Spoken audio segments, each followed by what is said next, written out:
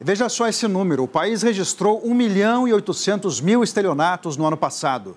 208 brasileiros caíram em algum tipo de golpe a cada hora. Os dados são do Anuário Brasileiro de Segurança Pública, que aponta um crescimento de mais de 300% deste tipo de crime desde 2018. Já caiu num golpe? Fiz uma compra pela internet e nunca recebi. Resumindo, perdi o dinheiro, perdi a mercadoria e tô com... levei um golpe, né? Agora, é, é a loja não existia? O que, Sim, que aconteceu? Justamente, existia, mas depois comprou, ela sumiu. Os registros de estelionato cresceram quase 40% em um ano.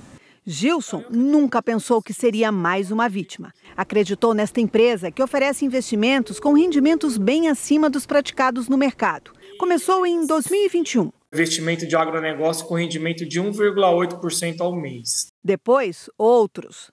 Com rentabilidade de 2% ao mês. Tá? E em maio de 22, ele fez uma oferta para a gente com rentabilidade em torno de 4% ao mês. Meses depois, ele decidiu sacar todo o dinheiro investido. E nada. Perdeu 485 mil reais. Era um dinheiro que tinha sido eh, guardado ao longo de pelo menos 10, 15 anos da vida. Tentamos ligar para a Plan B. Não foi possível completar a sua ligação. Este advogado especialista em crimes financeiros explica como não cair na conversa dos estelionatários. Duvidar, né? Consultar os órgãos reguladores, dependendo do órgão, Banco Central, CVM, consultar de acordo com o que aquele, aquela empresa oferta, se for consórcio, a gente verificar no órgão correspondente. O que os golpistas oferecem varia, mas alguns elementos são sempre iguais. Primeiro, a lábia dos criminosos para convencer da suposta vantagem e a ingenuidade das vítimas, que na verdade se consideram muito espertas, mas não a ponto de perceberem que estão sendo enganadas. Encontramos a Joyce em frente ao terminal rodoviário do Tietê, o maior da América do Sul. Mas a intenção dela era ir até Lavras, em Minas Gerais, por um aplicativo de carona. Pagou adiantado parte do valor da viagem. Mandei um pix para ela, metade do dinheiro, no caso 50 reais, ela me bloqueou. Perdeu dinheiro? Perdi.